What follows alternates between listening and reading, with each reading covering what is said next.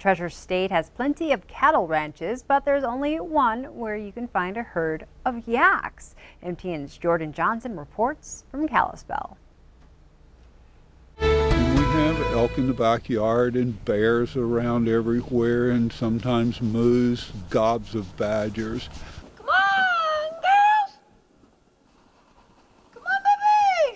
But the wildlife is not the only kind of creature on Springbrook Yak Ranch. Yes, you heard that correct. 48 hairy and large mammals, usually found in Tibet, can be found here near Kalispell. Thanks to their lung capacity, they can handle more than Montana winters.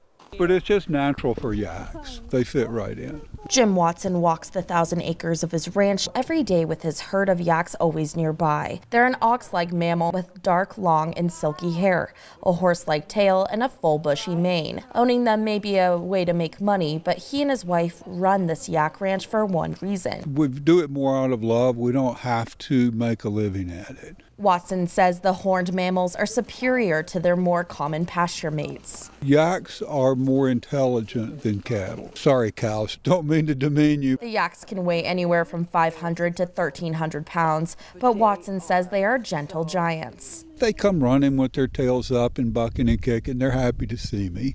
And so that helps. And I walk among them and call their names and scratch them. As Watson performs the tasks of a ranch owner, the yaks love to be shown attention. They're very gentle and they're very they're completely domesticated. Watson says inheriting the ranch from his father-in-law, who owned the property for 50 years prior, allowed him to own a little piece of bliss. We like our neighborhood. We have our own little piece of paradise here. Restaurants and cafes around Kalispell Kalispell and Whitefish actually sell the yak meat. The ranch only harvests the ones with anger problems. Uh, we only eat the mean and ugly ones.